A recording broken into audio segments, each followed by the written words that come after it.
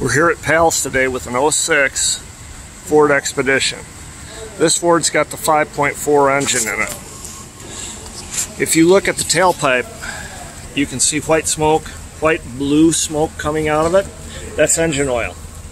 That means that this engine has severe blow-by. That's what that's called. The only way to fix it is to replace or rebuild the current engine in the car.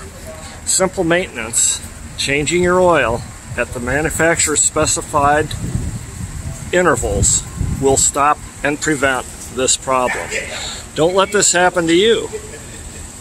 If it does happen, bring it to PALS. See you soon.